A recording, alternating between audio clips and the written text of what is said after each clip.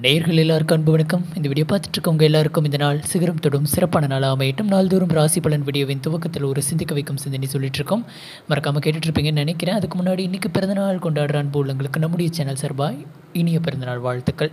ராசி பலன் வீடியோவுக்கு போகிறதுக்கு முன்னாடி இன்னைக்கான சிந்திக்க வைக்கும் சிந்தனையை கேட்டுட்டு ராசி பலன்களை தெரிஞ்சுக்கலாம். பயனுள்ள வீடியோக்களுக்கு கீழே உள்ள சிகப்பு நிற சப்ஸ்கிரைப் பட்டனையும் அருகில் இருக்கும் பெல் பட்டனையும் அழுத்திக் கொள்ளுங்கள். யூடியூப் நோட்டிஃபிகேஷனில் உடனுக்குடன் நம்முடைய அப்லோடுகளை பெறுங்கள். இது முற்றிலும் ஒரு இலவசமான சேவை.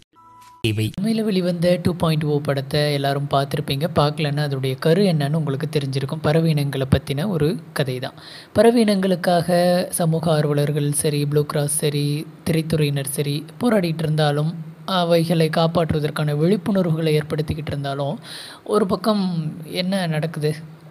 திருப்பூர் பக்கத்தில் ஒரு இடத்துல பனைமரத்தில் குருவி தூக்கணாக்குருவி வந்து கூடு கட்டியிருக்கு. ஆனால் இன்னும் கொஞ்ச நாள் அந்த பனைமரத்துக்கு பக்கத்துலேயே வந்து பெரிய டவர் வரப்போகுது. என்ன பண்ண முடியும்? அது இருக்குமா? இல்லையா? அப்படிங்கிறது ஒரு பெரிய கேள்விக்குறி. கண்டிப்பாக இருக்காது. இப்படி நம்ம பேசுகிறோம் ஆனால் பேசுகிற நம்ம நான் உட்பட கேட்குற நீங்கள் உட்பட இதை பேசுகிறதுக்கு நம்ம ஓகே தானா? அப்படின்னு நம்ம யோசித்தா கண்டிப்பாக கிடையாது. இன்றைக்கி வெளியேவும் சரி வீட்டுக்குள்ளேயும் சரி என்ன பண்ணுறோம் போகிற இடத்துல நம்ம அவங்கவுங்க ஒய்ஃபை தேடுறோமோ இல்லையோ ஒய்ஃபை கிடைக்குதான்னு தான் தேடுறோம் மொபைலில் இப்படி மொபைல் இல்லாத ஒரு உலகம் அப்படிங்கிறது சாத்தியமே இல்லாத ஒரு சூழ்நிலையில் போயிட்டுருக்குறோம். இப்படி கதிர்வீச்சுக்கள் அதனுடைய தொழில்நுட்ப வளர்ச்சி தேவைகள் அதிகம் இப்படி போயிட்டுருக்கிற இந்த காலகட்டத்தில் பறவை இனங்களை பற்றி எங்கே நம்ம யோசிக்க முடியுது? நம்முடைய தேவை நம்முடைய பரபரப்பான சூழல் நம்முடைய தொழில்நுட்ப வளர்ச்சி நமக்கான வேலைகள் சுலபமாக முடியுது. அவ்வளோதான் நமக்கு நமக்கு நமக்கு நமக்கு நமக்கு சுயநலம். இப்படி இந்த சுயநலத்தினால் நம்மளுக்கே தெரியாமல் சில உயிரினங்களை குறிப்பாக பறவைகளை அழிச்சிட்டு இருக்கோம் அப்படிங்கிறது தான் ஒரு நிதர்சனமான உண்மை.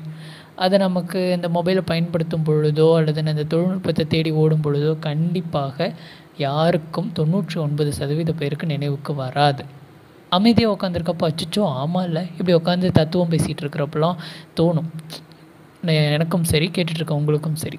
ஆனால் அதை பயன்படுத்தும் பொழுது நினைவு வர்றதில்ல. ஏன்னு யோசிப்போம் பார்ப்போம்.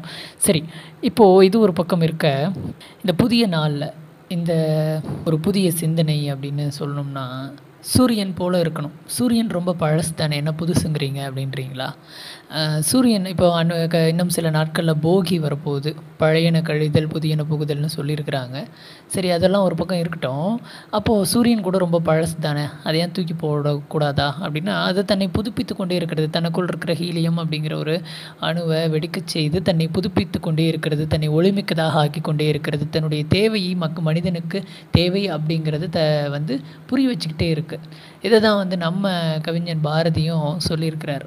இன்று மீ மீண்டும் புதிதாய் பிறந்தோம் அப்படின்ட்டு. இதுதான். சூரியனாக நாம் மாற முடியாது. ஆனால் சூரியன் போல இருப்பதற்கான வாய்ப்புகளை நம்ம ஏற்படுத்திக்கணும் அப்படிங்கிறது தான் பாரதி சொன்னார். இன்று நாம் மீண்டும் புதிதாய் பிறந்தோம் அப்படின்ட்டு. ஒரு ஒரு நாளும் சூரியன் எப்படி தன்னை புதுப்பித்து கொண்டு இருக்கிறதோ அதே போல் நம்மளும் வந்து நம்மை புதுப்பித்து கொண்டே இருந்தோமானால் நாமும் ஒரு சூரியன்தான் அப்படிங்கிற சிந்தனையை இன்னைக்கான சிந்தனையை நம்ம சொல்லிக்கலாம். இன்றைக்கி டிசம்பர் முப்பது ரெண்டாயிரத்து பதினெட்டு ஸ்ரீ விளம்பி ஆண்டு மார்கழி பதினைந்து ஞாயிற்றுக்கிழமை. இது மாதிரியான ராசி பலன் அப்லோடுகளுக்கு தொடர்ந்து நம்ம சேனலை ஃபாலோ பண்ணுங்கள் சிகப்பு நிற சப்ஸ்கிரைப் பட்டனையும் பக்கத்தில் இருக்க பெல் பட்டனையும் அழுத்திக்கங்க. மற்ற நண்பர்களுக்கு இந்த video Facebook Twitter WhatsApp messenger மூலமாக ஷேர் பண்ணிவிடுங்க இப்போது ராசிக்கான பலன்களை தெரிஞ்சுக்கலாம்.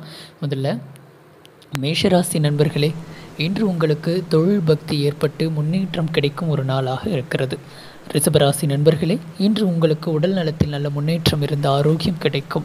மிதுனராசி நண்பர்களுக்கு எதிர்காலம் குறித்த வேலை வாய்ப்புகள் குறித்த பயங்கள் ஏற்படலாம். கடகராசி நண்பர்களே இன்று உங்களுக்கு சுப காரியங்கள் கைகூடும். சிம்மராசி நண்பர்களுக்கு உதவிகளும் பணவரவுகளும் இருக்கும். கன்னிராசி நண்பர்களே இன்று உங்களுக்கு சின்ன சின்ன செலவுகள் நேரக்கூடும். அது தவிர்க்க முடியாத செலவாக இருக்கும். துலாம் ராசி நண்பர்களுக்கு இன்று கோபம் அதிகரிக்கும் ஒரு நாளாக இருக்கிறது. விருச்சிக ராசி நண்பர்களுக்கு இன்று பெருமைகள் நிறைந்த ஒரு நாளாக அமையும் புகழ் சேரும். தனுசு ராசி நண்பர்களுக்கு தன்னுடைய முயற்சிக்கான பலன் கிடைக்கும் ஒரு வெற்றிகரமான நாள்.